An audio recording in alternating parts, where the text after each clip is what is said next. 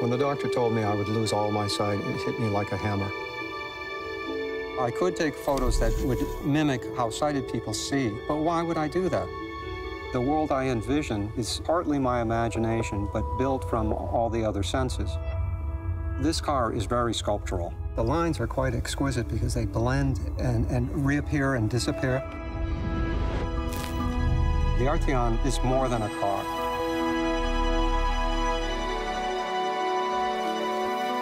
You don't need eyes to see beauty.